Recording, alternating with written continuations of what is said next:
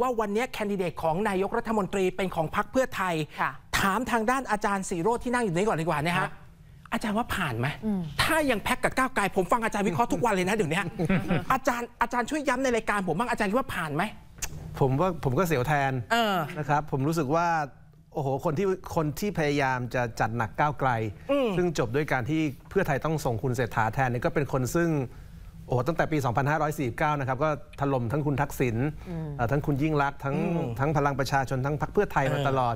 ผมผมกังวลว่ามันจะเป็นแผนล่อซื้อเพื่อไทยนะครับให้เพื่อไทยเนี่ยคิดว่าตัวเองจะมีโอกาสได้เป็นนายกรัฐมนตรีนะครับแล้วก็เข้าสู่ killing zone ตรงนี้นั่นก็คือการวินิจฉัยว่าเอ่อการเสนอชื่อเป็นแคนดิเดตนายกเนี่ยนะครับในสภาทำได้แค่ครั้งเดียวแปลว่าถ้าคุณเศรษฐาถูกเสนอเข้ามาแล้วครั้งเดียวเนี่ยนะครับสิ่งที่เกิดขึ้นกับคุณพิธาเนี่ย ก็จะเกิดขึ้นซ้ำกับคุณเศรษฐา แล้วก็การโหวตเนี่ยเข้าใจว่าน่าจะเป็นวันที่ 26 ครับนะครับซึ่งเวลามันก็อีกไม่นานนะครับ ผมก็ไม่แน่ใจว่าเอ่อทางเพื่อไทยเนี่ยจะไปหาจำนวนสสและสวเพิ่มอีก 60-70 คนเนี่ยจะไปหาจากไหนในระยะเวลาที่ค่อนข้างจำกัดขนาดนี้ เพราะว่าสวเองก็เป็นทหารเยอะค่ะนะครับส่วนสสเองเนี่ยก็ไม่ใช่คนที่เป็นเอ่อฝั่งเดียวกับเพื่อไทยนะครับเอ่อภูมิใจไทยเองตอนที่จะออกมาจากเอ่อ พรรคเพื่อไทยในปี5 53 52 53 เนี่ยก็มีเรื่องของคุณทักษิณค่อนข้างเยอะนะครับรวมไทยสร้างชาติเนี่ยก็น่าจะยากก็มีแค่พลังประชารัฐที่คนคิดว่ามีการพูดคุยกันแต่ทั้งหมดของพลังประชารัฐมันก็ยังไม่ถึงจำนวนที่มากพอจะให้เพื่อไทยชนะได้ ผมกังวลว่ามันจะเป็นการล่อซื้อเพื่อไทยครับมากกว่า คือพูดง่ายๆคือไงให้ให้ไม่มีแคนดิเดตนายกเนี่ยเหรอฮะใช่ครับใช่ครับ เพราะว่าต้องโหวตสามครั้งใช่ป่ะอาจารย์ หรืออาจารย์มองยังไง เพราะเขามีสามคน นั่นเนี่ยเดี๋ยวผมคิดว่ามันก็เออมันจะสับสนแล้วนะครับ ก็คือว่าถ้าก้าวไกลเนี่ยเสนอพิธาได้แค่ครั้งเดียวแล้วเออแล้วโดนตัดตัดขาดใช่ไปเลยเนี่ยเออแล้วถ้าเพื่อไทยคุณเศรษฐาไม่ได้ แล้วสลับเป็นคุณอุ๊งอิ๊แองร์ทองทานต่อแล้วเป็นคุณชัยมันจะเหมือนเก้าอี้ดนตรีอะครับ ผมคิดว่าสภามันจะดูตลกมากเลย ผมคิดว่าถ้าเขาเล่นเกมสกัดเพื่อไทยเนี่ยเขาคงไม่ให้เสนอได้สามครั้งนะครับผมผมเดาเอานะครับ เพราะว่ามันจะกลายเป็นบรรยากาศที่มันมันอีหลักอีเหลือ เพราะว่าเออคุณไม่เอาเศรษฐาก็มาแพทองทาน แพทองทานเออไม่ได้ก็ไปเชยเกษมเนี่ยมัน มันดูไม่เหลือความศักดิ์สิทธิ์แล้วครับมันจะกลายเป็นความชุลมุนที่แบบดูเละเทะมากครับคือคือหมายความว่าไงฮะอาจารย์กำลังจะบอกว่าคือเขาคงไม่ปล่อยให้โหวตไปถึง 3 คนครับ แต่ถ้าสมมุติเขาจะตีความก็คือถ้าคุณเศรษฐาไม่ได้ตั้งแต่ครั้งแรก ก็คือเพื่อไทยจบแล้ว ก็จบแล้วยึดหลักเหมือนกับคุณพิธาใช่ครับ ใช่ครับ อาจารย์นาธามองงี้ไหม คือถ้ามองว่าเอ่อเพื่อไทยเนี่ยนะคะมีความจริงใจอย่างที่เมื่อกี้คุณอดิศรบอกนะคะอ่าว่าโอ้อ่าจะจับกันแน่นเป็นข้าวต้มมัด 8 พักอะไรเนี่ยแล้วก็เสนอชื่อเออคุณเศรษฐาเข้าไป ตรงนี้เนี่ยก็เอ่อลองไปโหวตดู และถ้าสมมุติว่าโหวตไม่ผ่านอันเนี้ยไม่ผ่านเนี่ยมันก็เข้าเกมของทางเอ่อสวที่จะบีบให้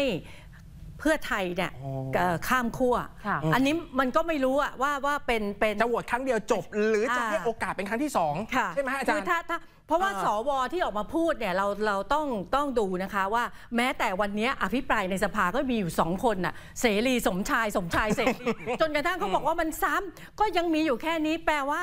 สวที่ออกมาพูดว่าไม่เอาก้าวไกลอะ มันก็มีแค่เนี่ยกิติศักดิ์เสรีสมชายอะไรประมาณนี้ใช่ไหมคะคนอื่นๆเขาอาจจะเอาก็ได้ แล้วถ้าเอาแล้วรอบเดียวผ่านมันก็จบ แต่ถ้าไม่จบเนี่ยมันเหมือนบีบให้เพื่อไทยเนี่ยกระโดดข้ามขั้วแล้ว ต้องกระโดดก่อนที่จะโหวตวันที่ 26 หรือว่าไงอาจารย์มองว่าต้องกระโดดก่อนหรือว่ายังไง วันที่ 26เนี่ยยังไม่กระโดด แล้วน่าจะเสนอคุณคุณเศรษฐาเศรษฐาไปก่อน แล้วก็มีความมั่นใจในระดับหนึ่ง เพราะว่าเพื่อไทยเองเนี่ยเขาก็ เก๋าเกมนะคะเขาอยู่ในการเมืองมานาน อาจารย์อย่าลืมเขานะเขารู้จัก อาจารย์สิโรธบอกว่าถ้าเขาตีแผนเดียวก็คือว่าเหมือนกับคุณพิธาเท่ากับว่าที่26ก็ต้องจบแล้ว ก็ครั้งเดียวถ้าโหตแล้วไม่ได้ก็คือจบก็เหลืออีกสองก็ก็อาจจะคุณคุณคุณเศรษฐาอาจจะเป็นตัวหลอกกึ่งหลอกกึ่งจริง ถ้าเผื่อได้ก็ได้ แล้วก็อย่าลืมว่าเพื่อไทยเนี่ยมีความรู้จัก มักคุ้นกับพวกสวที่อยู่ในสภา 250 เนี่ย เพราะว่าเขาอยู่ในสภามานาน แล้วก็เอ่อบรรดาสสครับ188 ที่ที่อีกซีกหนึ่งเนี่ยอืมเขาก็อาจจะเข้าไปเจรจาอะไรต่ออะไร กันอาจจะได้ก็ได้ ให้เพื่อไทยตัดสินใจก่อน ตอนนี้คิดว่าเพื่อไทยยังยังยังจับกับกับก้าวไกลยังยังเชื่อตามที่อืมคุณอดิศรบอกอ่าอาจารย์มองยังไงฮะครับเพราะของ ทางด้านของอาจารย์สิโรจน์ก็พูดน่าสนใจถ้าสมมติเขาตีความว่าแค่โหวตครั้งเดียวแล้วรวมกับ 3 ท่านเลยเนี่ยครันะบก็คือครับถือว่าจบแล้วไม่ได้ก็คือไม่ได้ครับคราวนี้ก็ต้องไปภูมิใจไทยแล้วนะฮะหลังจากนั้นครับเอออาจารย์มองยังไงอันนี้ คือผมคิดว่ามันจะไม่เป็นอย่างนั้นหรอกอืมนะครับ แล้วก็คือจริง ๆโหวตไล่เรียงกันบรรดาผู้ถูกเสนอชื่อทั้ง 3 ท่าน ทีละท่านเนี่ยไม่ใช่เรื่องตลกขบขันอะไรหรอกนะครับเพราะว่าถ้าเกิดสมมุติว่าทางพรรคก้าวไกลบอกว่าเสนอชื่อคุณพิธาซ้ำแล้วซ้ำอีก ก็ย่อมเสนอได้ ในวันที่ 13 คุณพิธาก็บอกว่า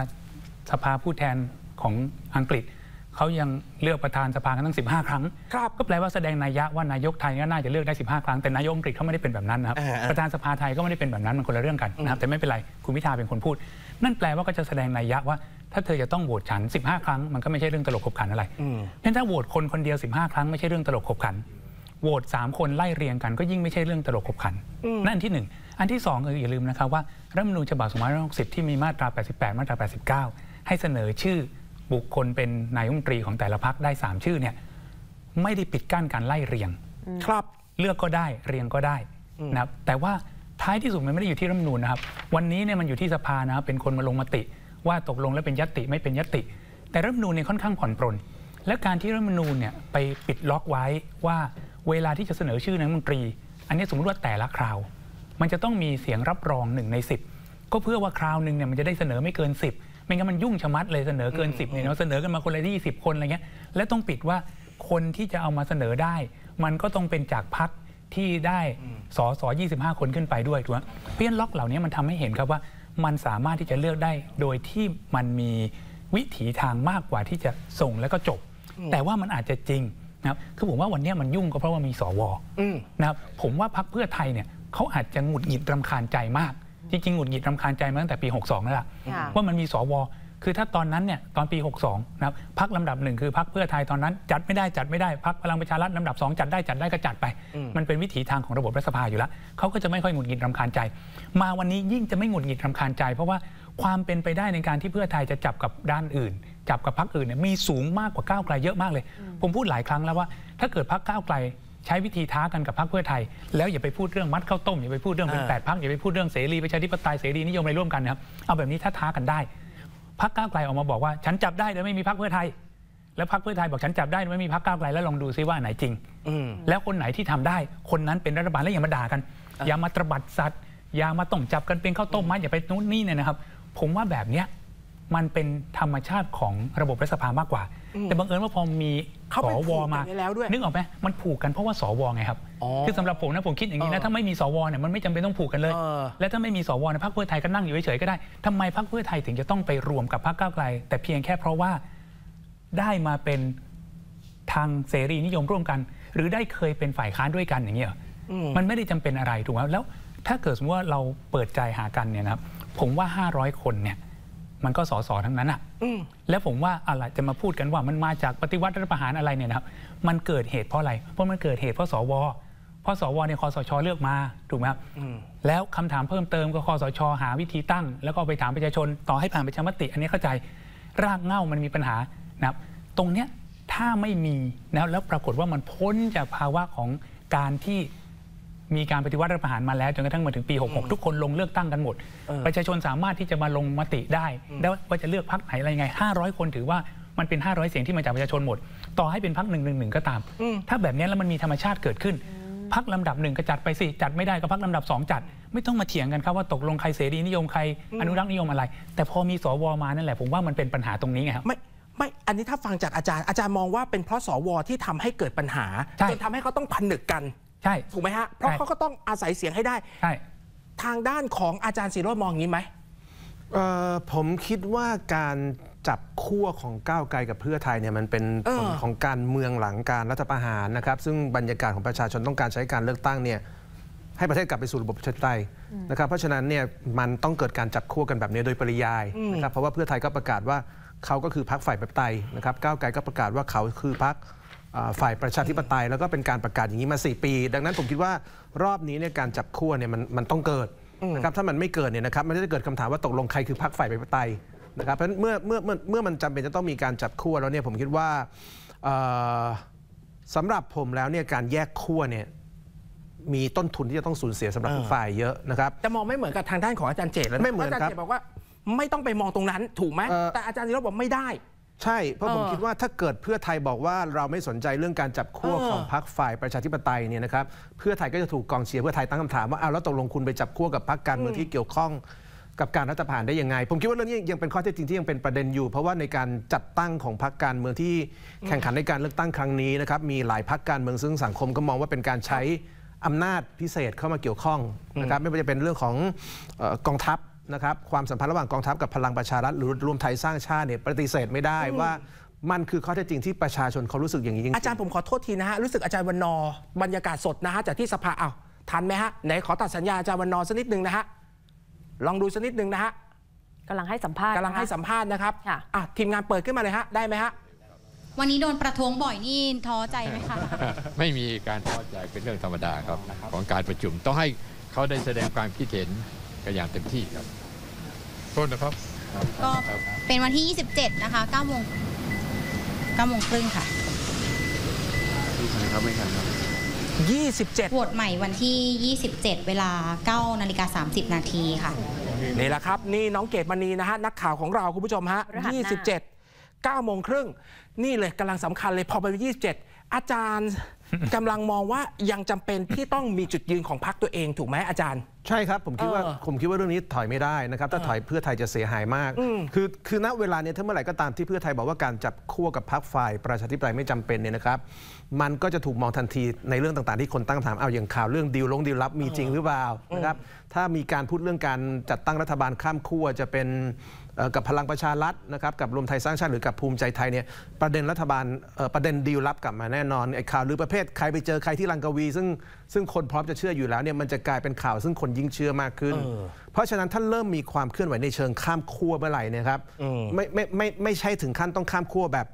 แบบร้อยเปอร์เซ็นต์อย่างที่อาจารย์เจตพูดนะครับแต่เอาเป็นข้ามขั้วแบบแค่มีอีกขั้วหนึ่งมาเนี่ยผมคิดว่าเพื่อไทยก็คงจะโดนตั้งคำถามหนักหนักหน่วงพอสมควร อาจารย์นานามองไง เห็นด้วยกับอาจารย์ซีโรจน์นะคะเออว่าการเลือกตั้งครั้งนี้เนี่ยเอ่อคนเขาเลือกตามอุดมการณ์ถ้าเรามองว่าพักการเมืองทั้งหมดเนี่ยดูดูสเปกตรัมของมันเนี่ยนะคะมันจะมีตั้งแต่เสรีนิยมก้าวหน้าสุดก็คือก้าวไกล แล้วก็ลองลงมาเพื่อไทย แล้วก็ถัดมาถัดมาถัดมาจนกระทั่งเป็นอนุรักษ์นิยม เราก็จะได้เห็นว่าซีกข้างเสรีนิยมเนี่ยมันจะได้มาก ก็อย่างที่บอกว่ารวมกันแล้วได้ 25 ล้านเสียง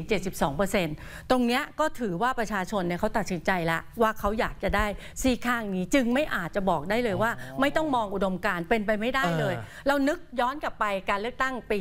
2535 ที่มีพักเทพกับพักมารอันนั้นน่ะมันจะเป็นตัวบอกอย่างหนึ่งว่าคนเขาเลือกเนี่ยเขาเลือกตามอุดมการณ์แล้วครั้งนี้เนี่ยมันชัดเจนยิ่งกว่าครั้งนั้นอีก เพราะฉะนั้นการที่บอกว่าข้ามขั้วก็ได้ หรือว่าเป็นอิสระมันไม่น่าจะใช่เออแล้วตอนเนี้ยเอ่อที่ยังจับกันอยู่เนี่ยประชาชนเขายังยังรับได้ที่จะเสนอแคนดิเดตของเพื่อไทย แต่ถ้าเผื่อว่าเอ่อไม่ใช่ผิดจากนี้ เพื่อไทยกระโดดไปข้ามขั้วเนี่ยเพื่อไทยจะตกเป็นจำเลยของสังคม แล้วค่ะคนก็จะมองว่าเออแล้วทำไมเอ่อไม่จับกันไม่ไม่ไม่รวมด้วยกันประชาชนเขาหวังเขาอยากจะได้ให้ซีกครับข้างทางเสรีนิยมเนี่ยอ่าได้